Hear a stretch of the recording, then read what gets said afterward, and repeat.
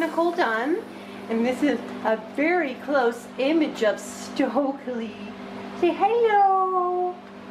Stokely's a Maltipoo, and um, he's going to help me in assisting me on how I show um, how we shave the pads of the feet.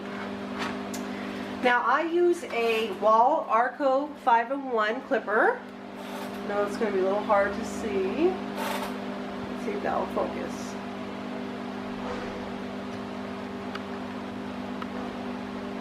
There we go.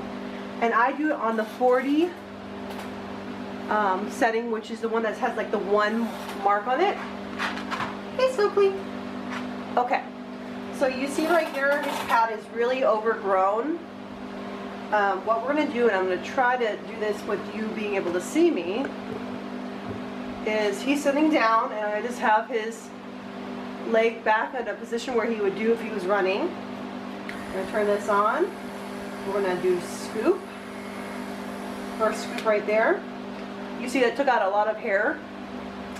Um, make sure that you don't uh, put the blade into the pads, in between the pads, because you can actually cut them. So now I'm going to go on the top by the nails, and we've already trimmed his nails so they're a little shorter. Thank you, buddy. Here we go.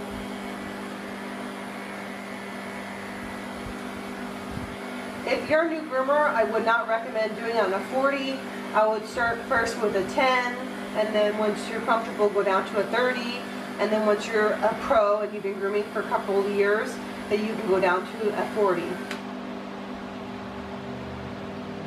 And do you see how perfect that is? Let me see if I can go close. And then you see that now his pad is exposed. So then we're going to do the back leg. Let's go out a little bit. We want to make sure you see his back leg and his tail. You want to make sure you, you are bringing it up naturally, like they would. Sometimes they sit down, that's fine. Okay, and we're to do that one swoop. And he likes to sit down sometimes, so then we're just going to put that leg up like he would be laying on his side. And you're kind of just got to go with the dog. Excuse me, Stokely. Okay. And then we're going to go on the side, on the side. Thank you, sir.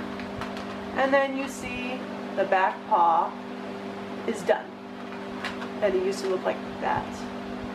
If you have any questions, um, please leave them below. If you have not yet, please subscribe to my channel.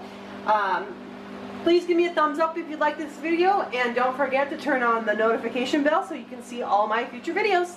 Thank you guys so, so much. Have a wonderful day.